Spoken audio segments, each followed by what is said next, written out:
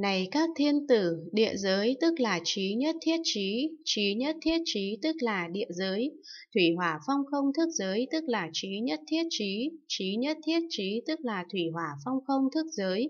Này các thiên tử, vô minh tức là trí nhất thiết trí, trí nhất thiết trí tức là vô minh, hành thức danh sắc lục xứ xúc thọ ái thủ hữu, sanh lão tử tức là trí nhất thiết trí trí nhất thiết trí, tức là hành cho đến lão tử. Này các thiên tử, bố thí ba la mật đa, tức là trí nhất thiết trí. Trí nhất thiết trí tức là bố thí ba la mật đa, tịnh giới an nhẫn tinh tấn tịnh lự bát nhã ba la mật đa, tức là trí nhất thiết trí, trí nhất thiết trí tức là tịnh giới cho đến bát nhã ba la mật đa. Này các thiên tử, pháp không nội tức là trí nhất thiết trí, trí nhất thiết trí tức là pháp không nội.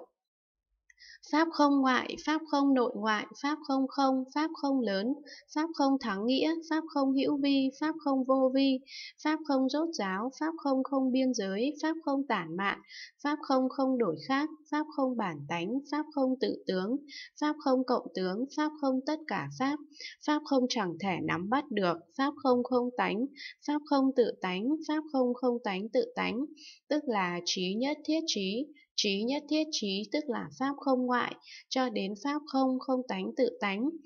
Này các thiên tử, chân như tức là trí nhất thiết trí, trí nhất thiết trí tức là chân như, pháp giới, pháp tánh, tánh chẳng hư vọng, tánh chẳng đổi khác, tánh bình đẳng, tánh ly sanh, định pháp, trụ pháp, thật tế, cảnh giới hư không, cảnh giới bất tư nghỉ, tức là trí nhất thiết trí, trí nhất thiết trí tức là pháp giới cho đến cảnh giới bất tư nghỉ. Này các thiên tử, bốn niệm trụ tức là trí nhất thiết trí, trí nhất thiết trí tức là bốn niệm trụ, bốn chánh đoạn, bốn thần túc, năm căn, năm lực, bảy chi đẳng giác, tám chi thánh đạo, tức là trí nhất thiết trí, trí nhất thiết trí tức là bốn chánh đoạn cho đến tám chi thánh đạo.